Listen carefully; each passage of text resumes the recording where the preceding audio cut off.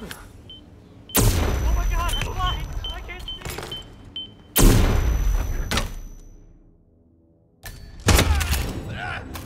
last, the actions of the first constant catch up with him.